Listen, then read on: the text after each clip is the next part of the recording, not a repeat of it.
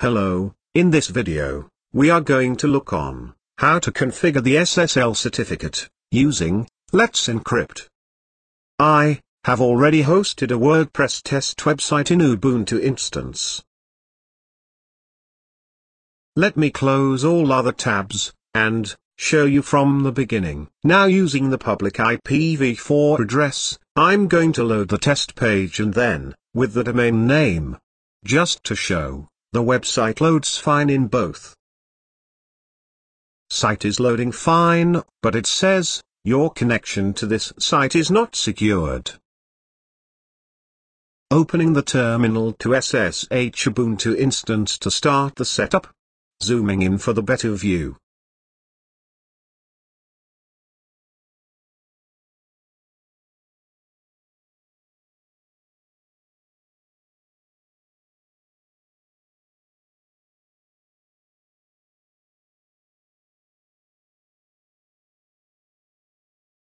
Logged into the instance now. First, I'm about to show you the Apache configuration file. To do we need to go to the, etc., Apache 2, sites available. Under sites available I've created a configuration file with the name wordpress.conf.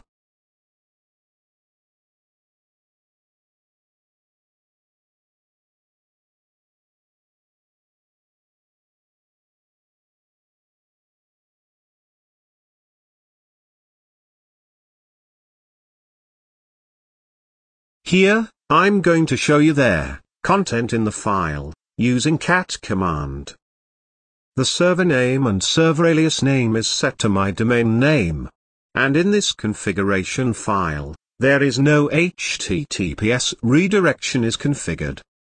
Let us start with the setup now. Step 1. Install the certbot software on your server, to obtain an SSL certificate from Let's Encrypt. To do, use the following command. sudo apt get install python 3 certbot apache y to confirm installation.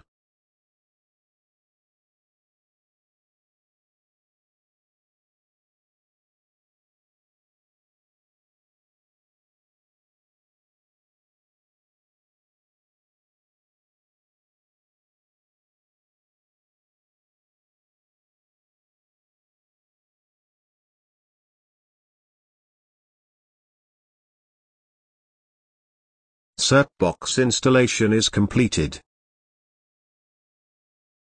Step 2. To obtain SSL certificate, use the following command sudo certbot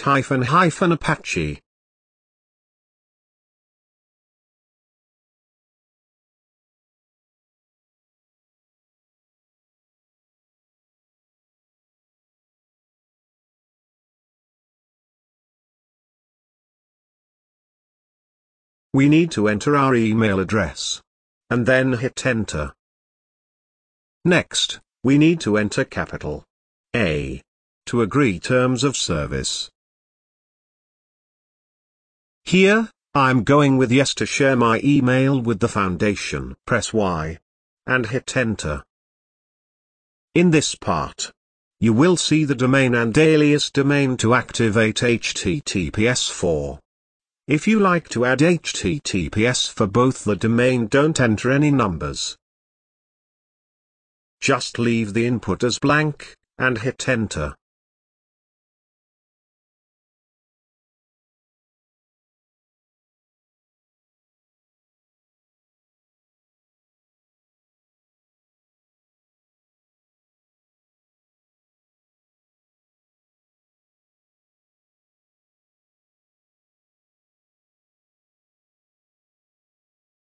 Here, I'm going with the option 2, to redirect all traffic from HTTP to HTTPS.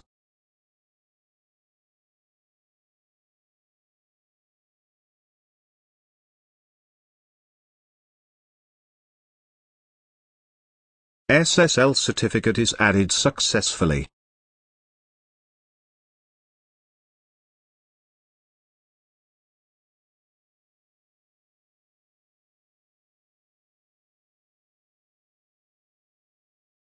Scrolling little up to show how to test the SSL certificate. Use the following URL in the browser.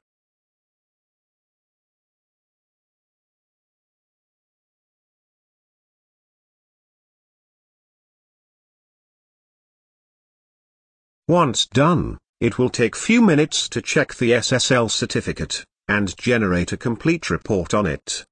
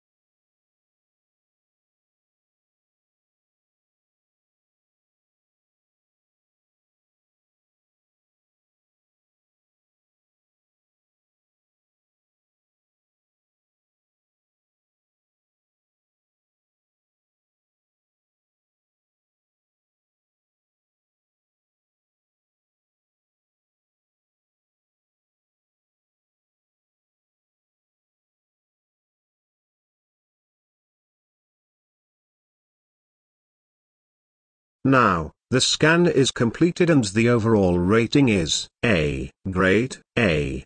Refers strong commercial security. Next, I'm going to try, open my web page using my domain. The website loaded fine with the SSL certificate added to it. When you click on the lock icon, before the domain, we can see the details of the certificate.